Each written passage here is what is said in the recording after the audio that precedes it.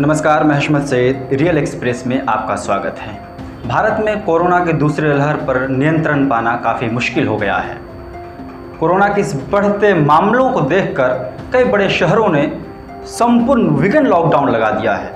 जैसे बड़े शहरों की बात करें, मुंबई, भोपाल, रायपुर, इन शहरों ने संपूर्ण वीकेंड लॉकडाउन लगा दिया है। उसके अलावा कई शहरों ने या फिर कई राज्यों ने नाइट कर्फ्यू भी लगाया है, ताकि कोरोना पर नियंत्रण पाया जाए।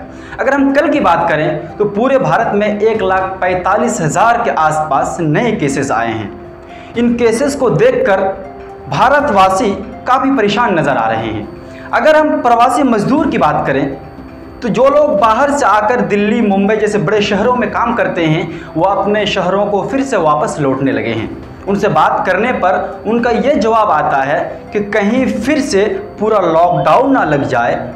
और हमने आज से एक साल पहले जिन चीज़ों को, जिन परेशानियों को झेला है, हमें फिर से ना झेलना पड़ जाए।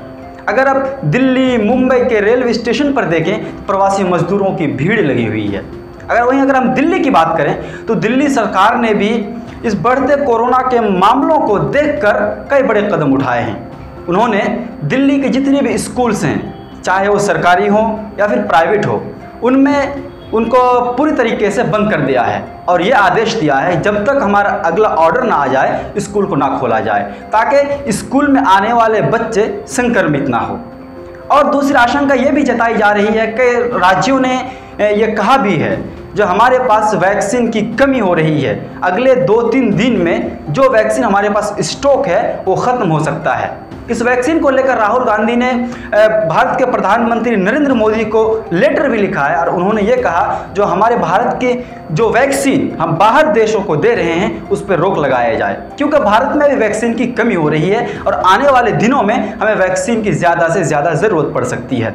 क्योंकि कोरोना के जो नए मामले सामने आ रहे हैं और उसमें नियंत्रण जिस तरह नहीं नहीं पाया जा रहा है, और हर दिन लाख से ऊपर नए केसेस आ रहे हैं सामने, कहीं ना कहीं हमारे लिए ये मुश्किल की घड़ी आ सकती है। जितने भी बेड्स हैं हॉस्पिटल में वेंटिलेटर्स हैं, वो सब के सब फुल हो सकते हैं। और दिल्ली सरकार ने इस बढ़ते मामले को देखकर 24 घंटे वैक्सीनेशन करने का भी आदेश दे दिया है।